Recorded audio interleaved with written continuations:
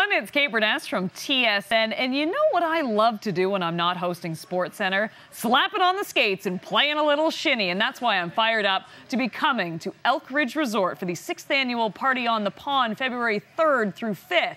And if you haven't already signed up, I have good news. There is still room for a few more teams to join. So gather up the best beer league players you know and come join me at Elk Ridge Resort at the beginning of February for an awesome weekend.